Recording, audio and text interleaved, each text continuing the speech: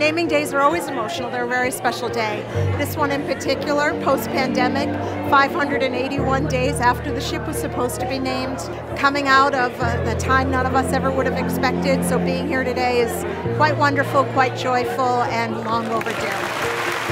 And now here we are together on the spectacular ship, finally celebrating her official welcome into the Celebrity Cruises fleet, continuing to transform this wonderful brand. So this naming ceremony is quite special, as is the ship's godmother, Reshma Saujani. Well, it's incredible to be here because this moment has been a long time in the making. You know, Lisa and I met two years ago, you know, before the global pandemic. And a lot of what I think we talked about is like the importance of bravery. Well, I always want my students to say, you know, be brave, not perfect. This has been the most imperfect two years of our life, and we've needed bravery. And it shows that like nobody is born brave, that you build bravery one muscle at a time through moments and through resiliency. And that's what today's celebration is really about. I name this ship Celebrity Apex. Bless her and all who sail on her.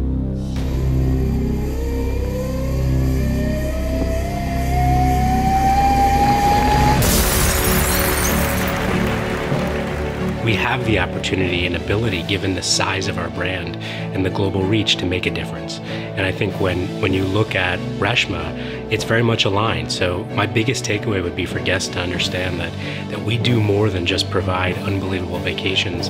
We make a difference in the world, and that's why Reshma is such a great, great person to collaborate with. You know, having somebody like Reshma who has really transformed an important part of society pushing the cause of women in what's been a male dominated field. It feels so good to have that connected to a ship that itself is kind of a breakthrough. Have a godmother that has the same values that we do as a brand is just a perfect match.